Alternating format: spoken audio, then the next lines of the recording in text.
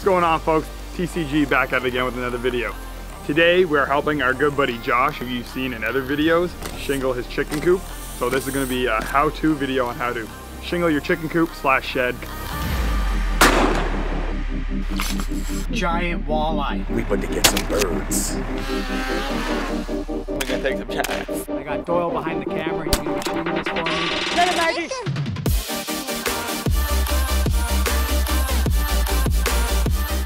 What's going on folks? TCG back at it again with another video.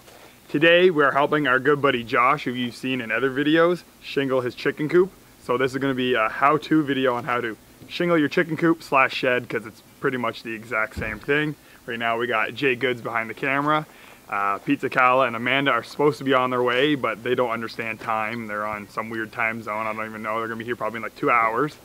But uh, yeah, so let's get to it.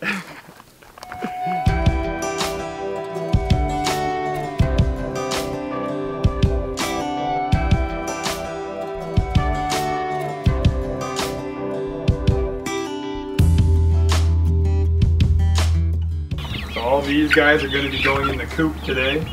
Hopefully once we're done the roof and a few other things. We got some more out here. Out here we got the meat chickens, broiler chickens, whatever you want to call them. These are all the meat hens, the ones that are going to be getting eaten. Alright yo, so this will be the chicken mansion, aka the chick inn.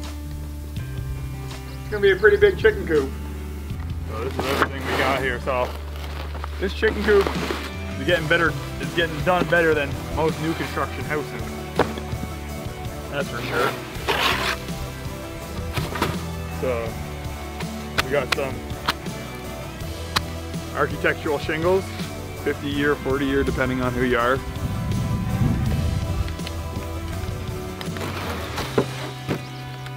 We got a deal off a guy on Kijiji. So we got just over three bundles of one color and then like a mixed variety of the other ones because you know it's a chicken coop so who gives a shit? Get some drip edge actual starters and of course caps. And then it's not heated so we're not putting ice and water shield but we are putting synthetic paper over here.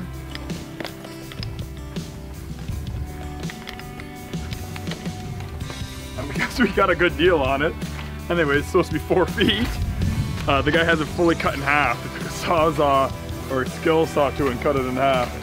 So folks at home, if you buy synthetic paper, it will look twice the size of this. But it, it's still gonna work the exact same. It's gonna take twice as long to install. I think, yeah, inch and a quarter. These are inch and a quarter hand nails. And the nails for my nail gun are the same, inch and a quarter. Uh, when I put the paper on, I like to use hand nails. Just find it much less in the way and stuff. But then uh, I'll use my gun, nail gun for the uh, for the shingling part because it's just much quicker. And two, I find uh, so easy to have blow throughs on the paper when you use your nail gun. So what's the point? So anyways, we're putting on architectural shingles for a couple reasons. They last longer, um, usually 40 to 50 years. You know, that's what they, the manufacturer says. Three tab is like 10 to 20 years. Um, they're a bit more expensive, yes, but they last longer. The other good thing about them is they are dummy shingles. So y'all watching at home, this is super easy to install. It's pretty cut and paste. I mean, anybody can learn it. Three tab is a little bit trickier, especially if you've never done it before. It's easy, but definitely trickier. Uh, they look different too. Uh, this is like one solid piece. I mean, this one's already broken, so it's a cut. But three tab is on the house, and architectural is going on the chicken coop. But three tab is pretty plain and simple. This is your full architectural piece. Three tab would look like this. Spaces.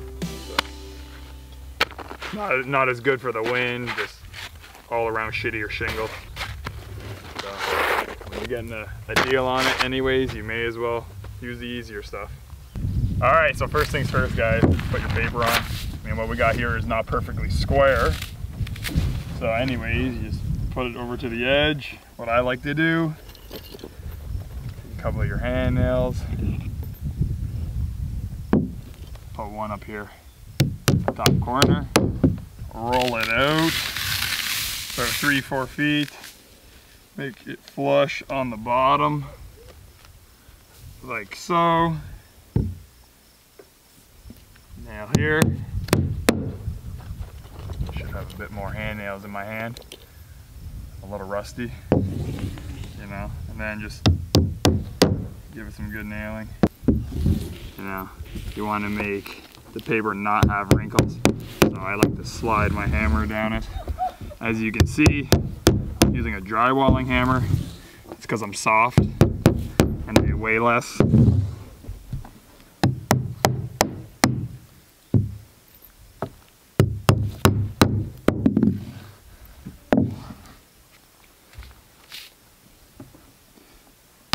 Now normally this is four feet, so I'll have these this line at the top too, so you can start from any side. You, you can start from over there. I mean, I could have started as well, but it's not very square. Then you'll want to cut your end, your overhang off, of course.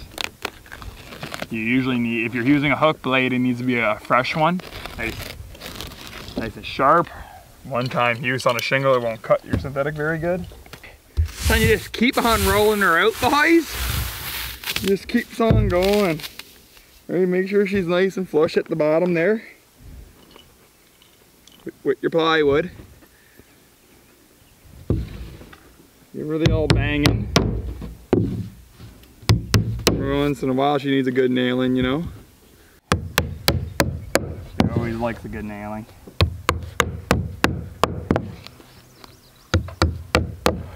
I like to cut the vent holes afterwards so you don't put the paper over, accidentally step on it. And like I said before, if you're using tar paper, you're gonna fucking fall right through it. Synthetic, you'd probably be fine, but I still rather do it at either cut the vent holes at the very end after it's all done shingled, or once I know what bottom shingle the vent is gonna be on. Wow, she's a little windy now. So, yeah, windy. So we're putting the drip edge on now. And there's two, a couple ways you can do it. Or you just put it on like how I'm gonna do it because it's quicker and easier and this is a fucking chicken coop. Uh, or you could cut, make a bend and put it up the side. It tends to look nicer that way. But why am I gonna care about that on a chicken coop? Put a nail. And then the drip edge, all it does is help prevent the water from going underneath the shingles and also makes it so it will drip off the fascia and into the eaves trough even though I don't think we're putting an eaves trough on here but that doesn't matter all right so then you cut your piece the drip edge go on the side here I like to leave it about a quarter inch from the peak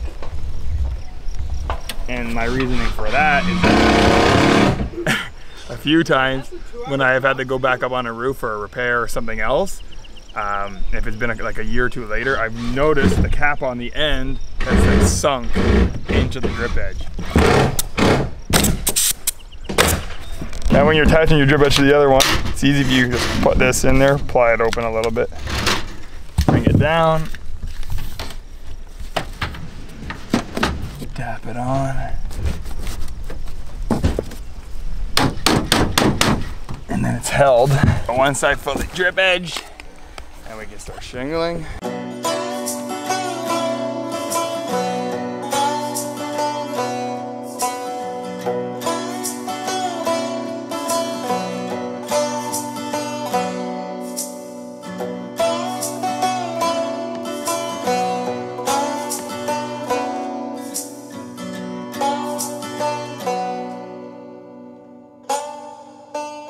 So there's a, a, a, couple ways you can do this. When I'm on a job site or whatever, I just put my finger here and go to the first line in my finger, which is pretty much a quarter inch. Or you can, you know, measure whatever your starter is. So these are eight inches.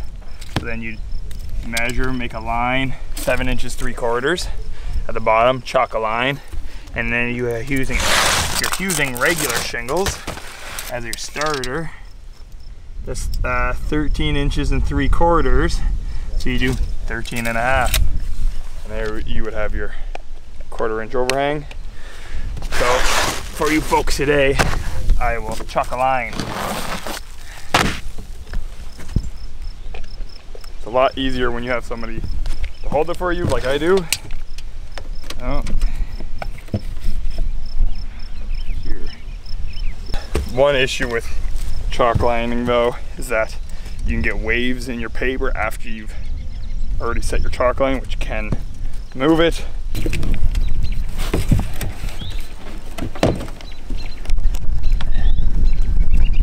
Hold this there.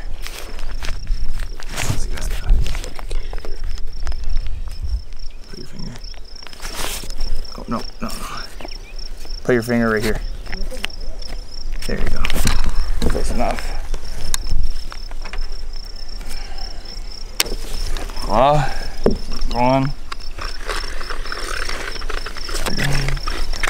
now that I got the chalk line done, put some starters on. It's usually nice to just lay a few out as you go. You can shingle and add it in as like a shingle. So first things first, put this one on, that goes down. Now, there's the one main reason what I also do though, so I take these two, just so I know the height. When you put your first shingle on, it's a full shingle. I just farted. Uh, and your starter has its nice six inch offset. So then you put flush at the bottom, flush on the sides. There's a white line here. People, hit the white line. You know what I'm saying? Like most of us roofers do.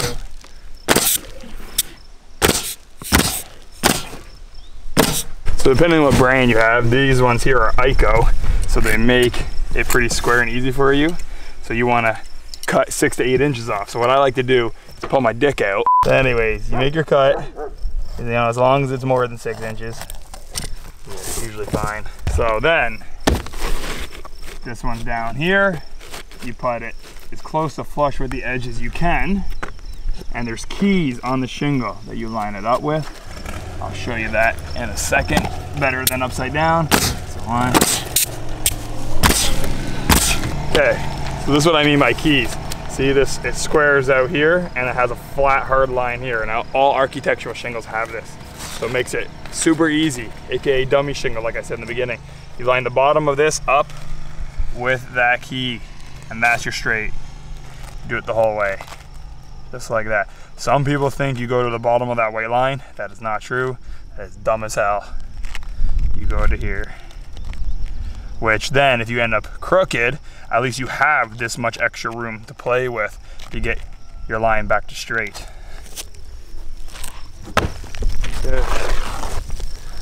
So then your last cut that you made for the edge, you took your six to eight inches off. You can take that piece off and look for the next one. Like that's not enough, that's about four inches there. This is a bit too much, so then just split the difference and try to cut straight. Ooh. Easily. Okay, and get to the second layer. Voila. And then down on the keys.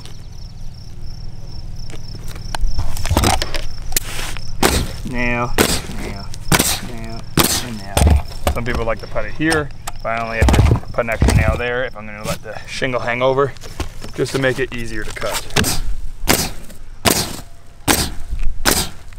There you go. Six nails for a full shingle. I mean, five, you're gonna be fine. Why cheap out? Then you put your next one, butt it up to the next one. On those keys I was telling you about.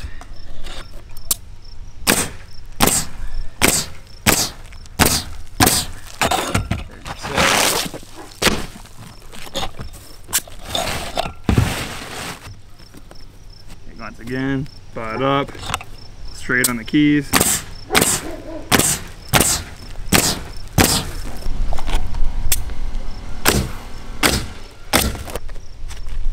Put it here, and then this one overlaps.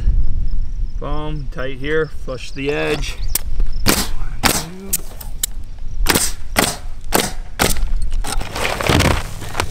Oh, you grabbed the wrong ones. off. Swear to God. Well, what the f?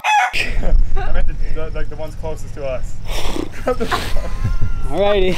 Leave them up here now. Fuck. Why, you can use these? I Might use them on the other side.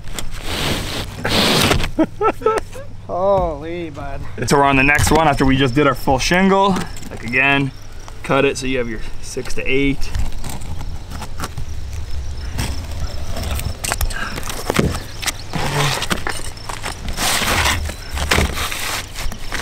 On.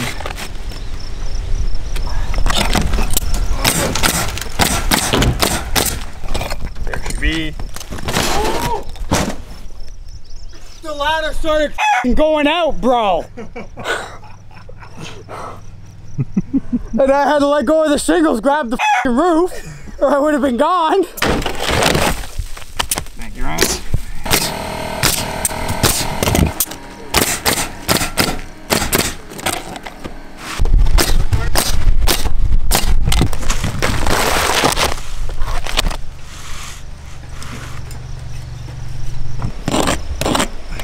Here's the center. Six inches here.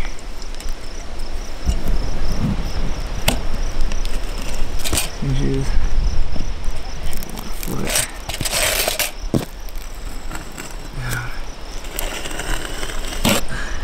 Oh.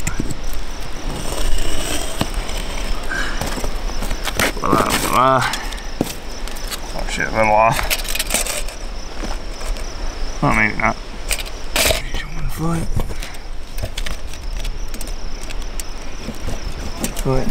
Oh yeah. Forgot. This, this paper had the line.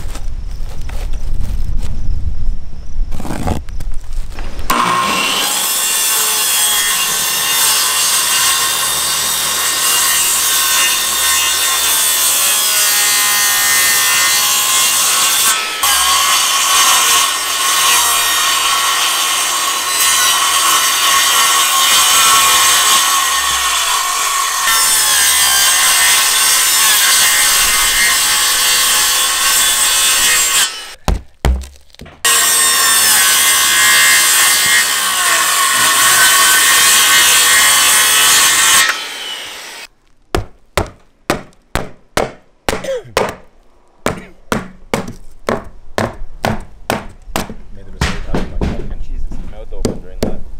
There you go. There's his two ventals.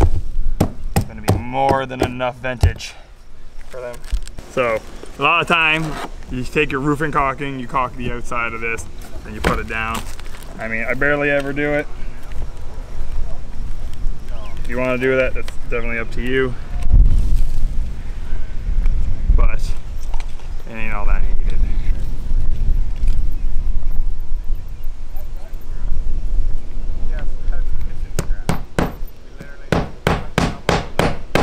Give her some nails.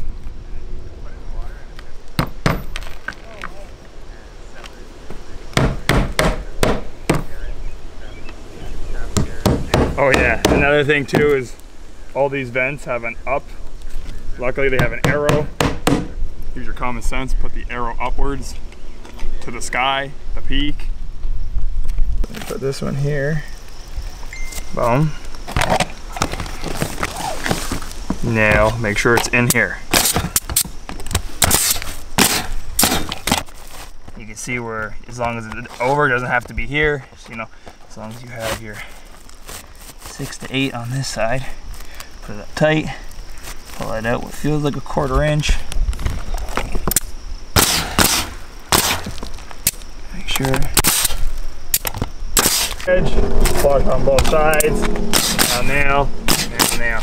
Always in the tar line.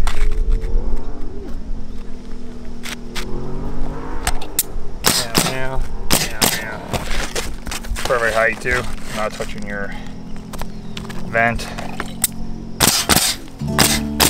You always want your vent pretty much as high as it can go.